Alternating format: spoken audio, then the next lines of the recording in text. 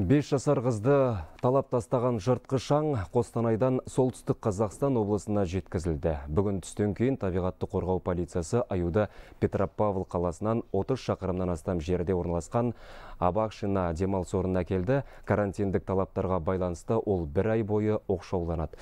Яғни тәлімбақтың мамандары оның бөлек қамауда болғандығын айтып отыр, болатындығын айтып отыр. Жалпы бүгінгі күні бұл жерде 30-ға жуық түрлі аң бар, ал зардап шеккен бүлдіршіннің ата анасы қарсы болғандықтан бұдан былай бала туралы ешқандай ақпарат берілмейді. Облыстық денсаулық сақтау басқармасының баспасөз қызметі осылай деп мәлімдеді. Қыз баланың жасанды комада жатқанын бұған дейін айтқан едік. Дәрігерлер қазір оның аю деген аяғын сақтап қалуға барын салып жатыр.